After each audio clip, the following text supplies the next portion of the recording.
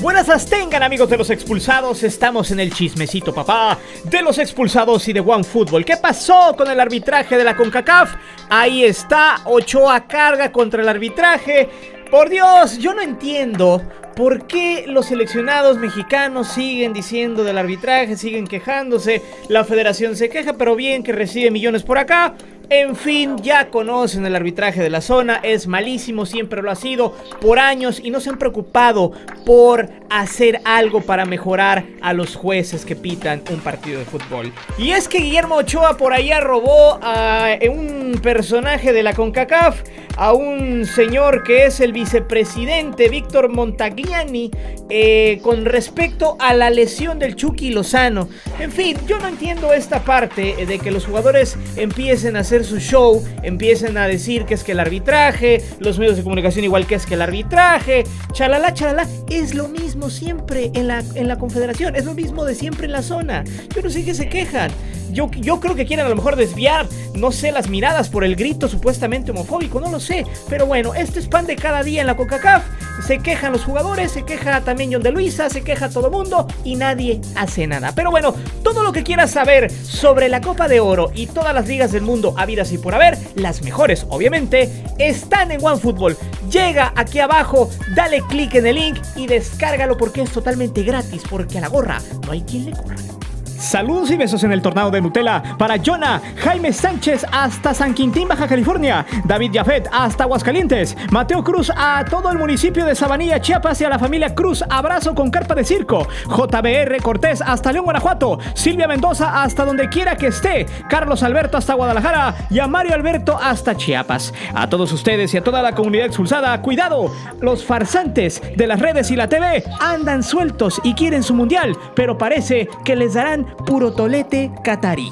Poco a poco se están rompiendo paradigmas. Antes, la televisión decía qué hacer y qué no hacer al televidente desde el otro lado de la pantalla, cuando ellos dictaban las formas, los contenidos y los raciocinios, cuando solamente había una opinión, pero no una réplica, cuando la afición tenía que tragarse una pantomima, una historia ficticia dentro del fútbol mexicano.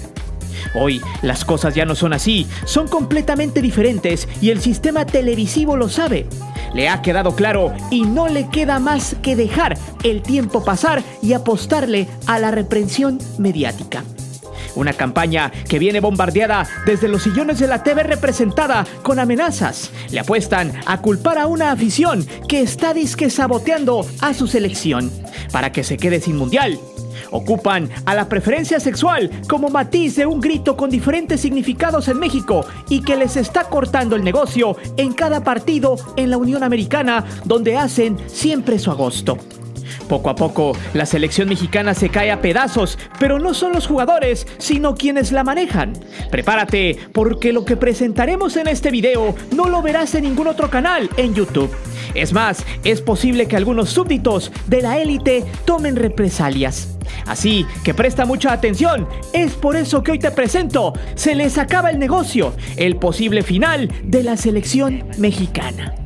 Antes de seguir con el video te invito a suscribirte al canal, activa la campana para que recibas todas las notificaciones de nuestro material y de las narraciones en vivo. Te divertirás, te lo aseguro.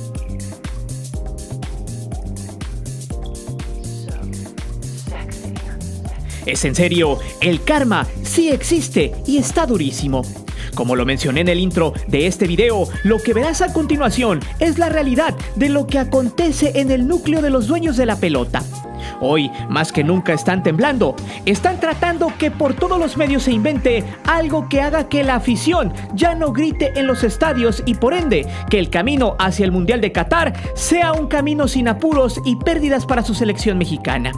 Digo su selección porque realmente es eso. La selección de México solo es un puñado de futbolistas, muchos de ellos creados, promovidos y recomendados por la TV, quienes los apadrinan o los ayudaron a llegar a Europa para fomentar el círculo vicioso del negocio. No son todos, pero sí muchos. La selección mexicana es una maquinaria impresionante de venta en todos los sentidos. Desde que a finales de los 90 se dieron cuenta que México vende mucho en Estados Unidos. Ese equipo dejó de ser por completo de México como tal, pues la gran parte de sus partidos, que no sean eliminatorias mundialistas, la gran mayoría se celebran en la Unión Americana. ¿Por qué? Muy sencillo. Allá está la feria, allá hay más patrocinadores y más tiempo on demand. No es nuevo, ni hemos encontrado el hilo negro, pero los dueños de la selección llevan más de 25 años lucrando con la pasión de los paisas allá del otro lado pues es de las pocas selecciones en el mundo que es seguida en dos países de manera concurrida, siendo el vecino país del norte quien acoge a este equipo como si fuera su patria, como tal, aunque no sea cierto.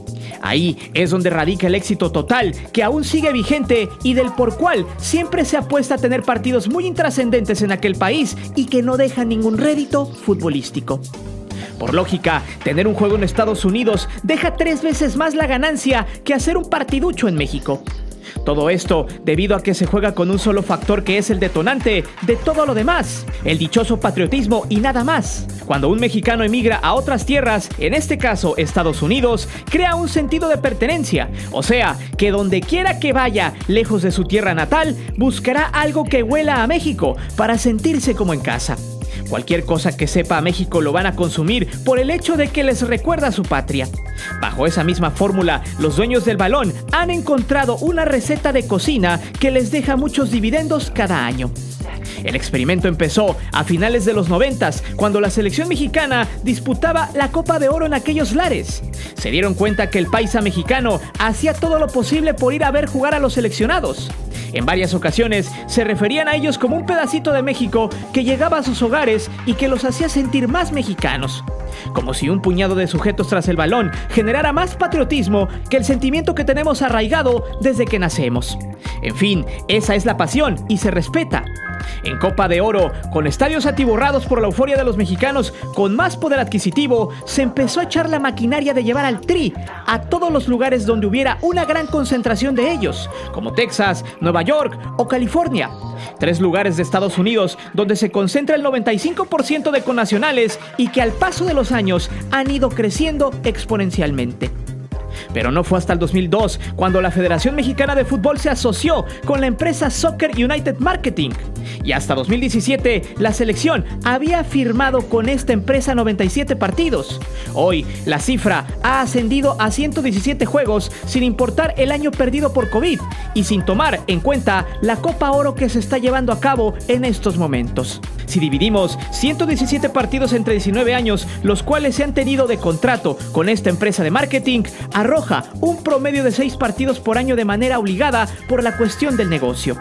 Son 117 partidos que han servido de poco o nada, pues México de 2002 a 2018 ha disputado 5 copas mundiales y en ninguna ha ido más allá del famoso quinto partido y tampoco ha conseguido algo extraordinario, por lo que tomar partidos de nula relevancia futbolística solo es paja. Aún así, el mexicano siempre acude a los superestadios en Estados Unidos para apoyar, gane o pierda, y reavivar ese sentido de pertenencia que tiene hacia una selección mexicana de privados.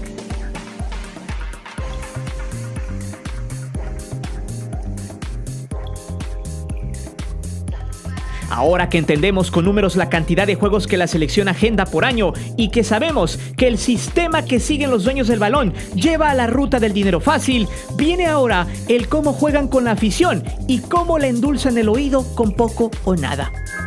Poco menos de 20 años le costó a la federación amasar un negocio ampliamente redondo con base a los sentimientos del público y de su patriotismo, que a su vez tiene mucho sentido para quienes lucran con esto. Previo al Mundial de Rusia 2018, México había agendado en 2017 algunos juegos amistosos y a su vez era un año importante, pues estaban en juego las eliminatorias rumbo al Mundial.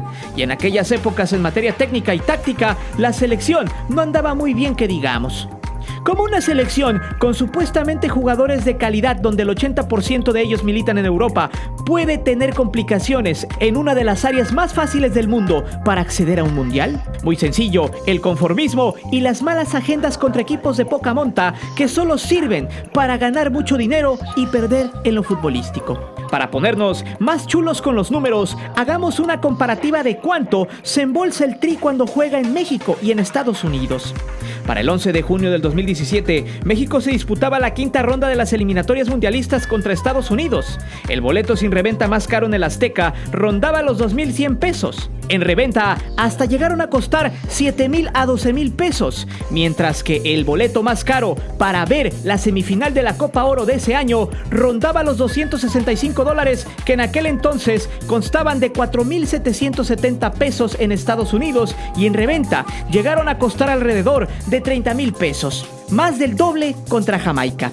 Aunque eso sí, eran diferentes instancias las que se disputaban, pero aún así el poder adquisitivo de los mexicanos en Estados Unidos les da para pagar eso y más a pesar de los fiascos.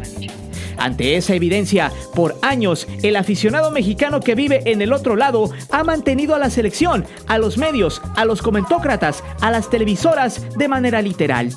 Pues no es lo mismo pagar publicidad en hora estelar en México que en los Estados Unidos y en ciudades donde hay un grueso de mexas. Hasta el 2017, en Estados Unidos, según un estudio de Pew Research Center, de 56.7 millones de hispanos, 36.8 millones son mexicanos. La selección va dirigida a ese sector de la población, que vendría siendo una cuarta parte de la población mexicana en nuestro país.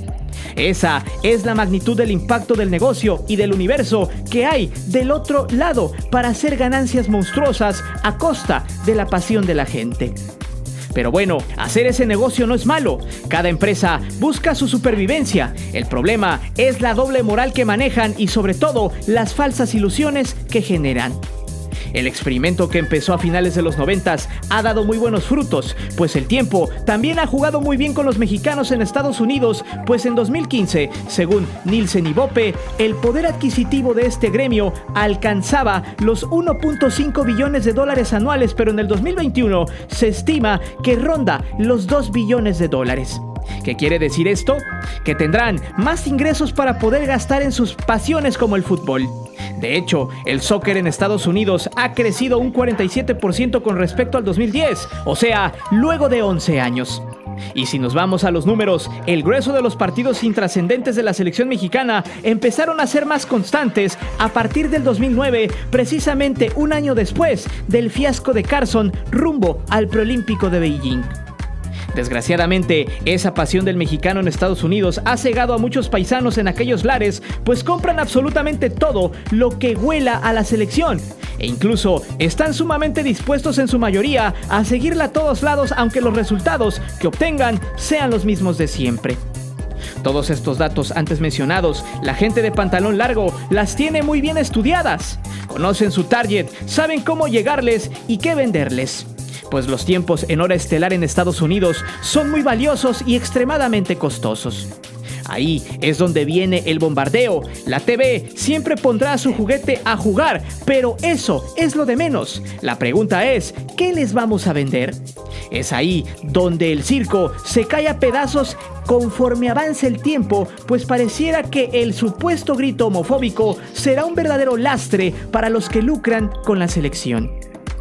La selección mexicana, junto a la empresa de marketing, se mete 9 millones de dólares cada que juegan un partido intrascendente en la Unión Americana. Además de que si hay Copa Oro, las ganancias se inflan mucho más. De esos 9 millones, dos de ellos son netos y libres de impuestos, corresponden directamente a las arcas del Tri. Solo por juego, una cantidad millonaria para hora y media de partido contra selecciones de muy bajo rendimiento que nada benefician al desarrollo del talento. Apenas hace algunas semanas, la selección mexicana había renovado los contratos de televisión por la cifra de 200 millones de dólares, los cuales abarcan de 2022 a 2026 con Televisa, quien es la dueña de este equipo. Pues este es el punto importante. ¿Se imaginan que un grito popular destroce por completo el negocio de las televisoras a lograr que la selección no vaya al mundial? ¿Se imaginan cuánto perdería Televisa si el grito se sigue dando en las tribunas, así como el primer juego en la Copa de Oro ante Trinidad y Tobago?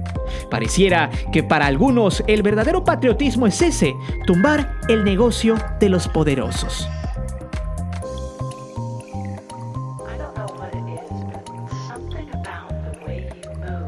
Este punto es el que no quiere la TV que veas. De hecho, le dolerá a las decenas de paleros de estos entes corporativos. Imagina por un segundo que México no vaya al Mundial gracias al grito en las tribunas.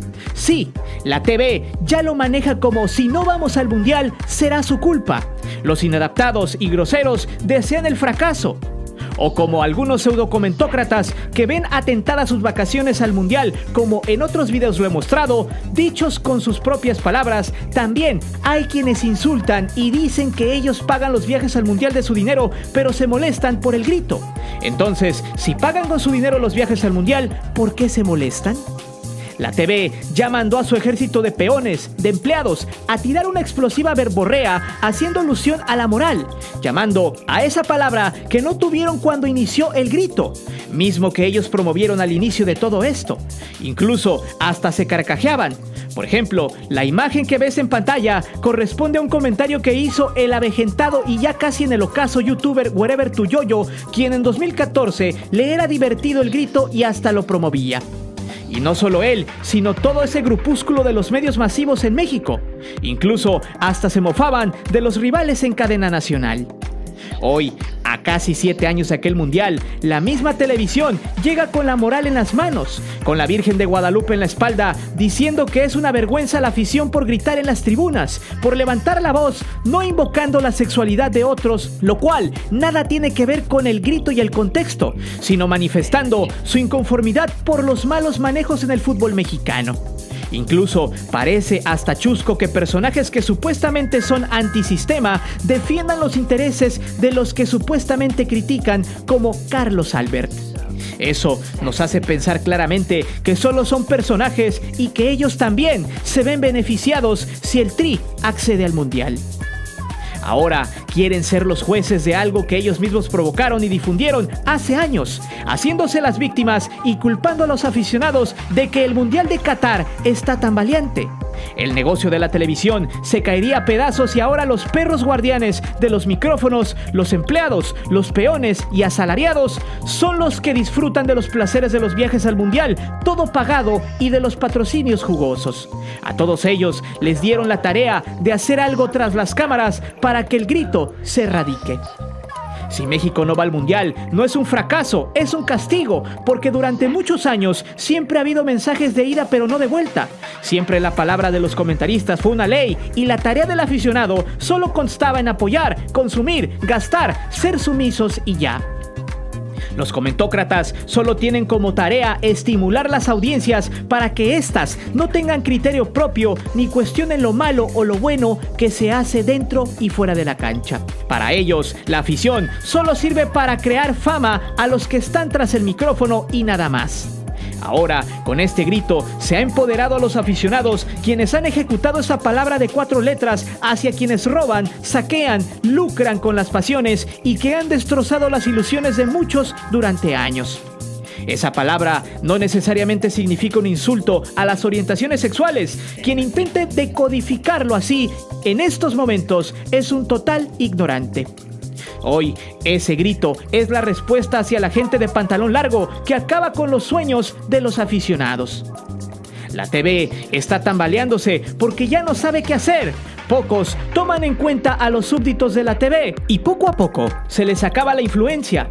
Igual de los famosos canales de YouTube Pro Sistema, quienes adulan a la federación, no cuestionan, no señalan, solo están ahí para ver si reciben alguna dádiva, algún boletito, regalito por parte de los de arriba para que los puedan promocionar a la TV o a un torneo internacional los que buscan fama en redes sociales haciendo karaoke de la televisión para ganar seguidores. Ellos se manejan de la misma forma y en sus contenidos dirán que ya no griten, que por favor no hagan el ridículo, exactamente lo mismo que dicen los que ya ven apestado su negocio.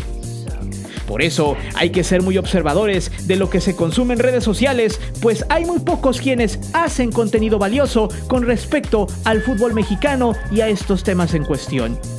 Hoy, por suerte, el aficionado ya tiene decisiones propias además de criterio, y eso es bueno. El despertar de las conciencias ha sido el principal temor de las televisoras. Para ellas, eso es el más grande peligro que atentará contra sus intereses.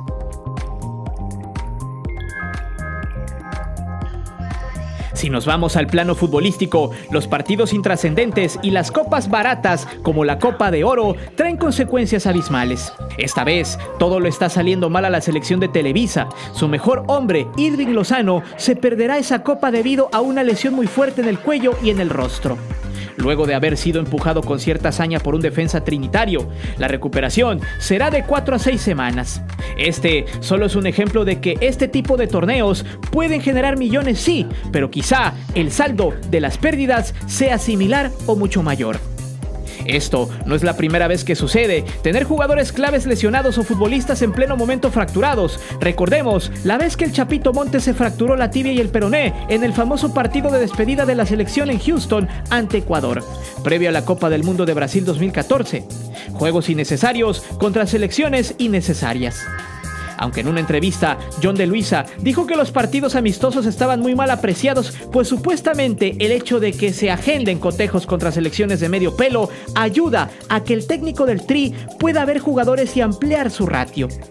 De hecho, ha defendido a la empresa estadounidense de marketing que le trae rivales fuertes como Argentina, Uruguay, Chile, Colombia, supuestamente de renombre, pero realmente las cosas no son así como lo plantea el Delfín de Azcárraga. Tan solo haremos el estudio de 2017 hacia adelante, ya que si nos vamos hacia atrás, encontraremos partidos contra Gambia o el Congo. Y para darle más chance a los comentócratas y dueños del balón, analizaremos los últimos tres años y pico. En 2017 se jugaron cinco partidos amistosos en Estados Unidos ante la selección de Islandia, Croacia, Irlanda, Ghana y Paraguay. De este año se puede decir que solo un rival fue el mejor de todos. Croacia, quien ganó el amistoso por dos goles contra uno y trajo a sus mejores jugadores. De ahí, Paraguay sería el segundo mejor rival, quien trajo algunos titulares y mucha banca. Islandia, Ghana e Irlanda fueron selecciones de muy poca monta que solo fueron de pretemporada a Estados Unidos sin mostrar jugadores importantes. En 2018 se jugaron seis partidos y se repitieron algunos rivales como Croacia, quien volvió a ganar el amistoso esta vez 1-0, pero surgió un duelo contra Uruguay con su cuadro titular. El marcador fue escandaloso para los charrúas que ganaron cuatro goles contra uno. De ahí, los rivales de segunda mano con cierto nivel y algunas ausencias fueron Estados Unidos y Gales. Los juegos ante Islandia, Bosnia no dejaron nada bueno. Para 2019, México jugó seis cotejos, la mayoría contra sudamericanos, en los que destacó solo el juego ante Argentina en San Antonio. Juego donde se destapó lo del brunch de Nueva York y el escándalo del chicharito. México perdió 4-0 contra la Argentina, luego le siguieron los partidos ante Chile, Paraguay, Ecuador y Estados Unidos. Todas esas elecciones no trajeron cuadro completo. Sobre Venezuela no hubo mucho, solo fue un juego innecesario. Para este 2021 solo se han jugado tres partidos, ninguno de ellos contra selecciones importantes. De hecho, han sido juegos de relleno, ante Islandia nuevamente, Honduras y Nigeria. Partidos solo para juntar dinero. Si nos damos cuenta, son muy pocas veces las que se organizan juegos contra selecciones fuertes e importantes. En cuatro años solo destacan Croacia, Uruguay y Argentina, y esto refuta lo que John trata de vender. Si bien se han pactado algunos juegos que valgan la pena, estos han sido muy pocos y se han traído selecciones ciertamente competitivas, en su mayoría estas han jugado con suplentes. Aún así, la selección mexicana sigue siendo una empresa muy rentable, pero que ahora está muy maltrecha por los incidentes del grito. Pareciera que no saben qué hacer los dueños de la pelota, aunque quizá pronto hagan una campaña fuerte acompañados de las autoridades en Estados Unidos. El problema es que tendrán que invertir más dinero de lo pensado. Incluso ahora sus rivales en la Copa de Oro reclaman triunfos administrativos gracias al grito, como lo hizo curiosamente el técnico de Trinidad y Tobago. Pareciera que el karma le está llegando a los dueños de la pelota, a los dueños del tri, que después de todos los negocios jugosos y las cantidades millonarias ganadas durante años, se les están acabando. Ven atentado su patrimonio y ahora es el aficionado quien tendrá la última palabra si darle un castigo muy merecido a quienes controlan la pelota en México o seguir postrados ante los magnates y las televisoras, de seguir consumiendo un producto sumamente malo e inflado por los comentócratas, de seguir solapando a los malos manejos de la federación y seguir haciendo ricos a quienes lucran con los sentimientos de la afición y haciéndole caso a quienes manipulan la información, promocionan e inflan jugadores sin calidad. Si la afición sigue dando esos golpes, los de arriba jamás olvidarán que el fútbol también es de la gente. Pero dime, ¿no te da miedo que la selección no vaya al Mundial y sea castigada por la FIFA gracias al grito mal llamado homofóbico? ¿Crees que los medios puedan cambiar una decisión tomada por un gran sector de la afición? ¿Merece el Tri ir al Mundial? Déjame saber tus respuestas aquí abajo. Recuerda que aquí leemos todos los comentarios y no olvides de suscribirte al canal ni de activar la campana de notificaciones. Mi nombre es Guillermo Antonio. Nos vemos. Hasta la próxima.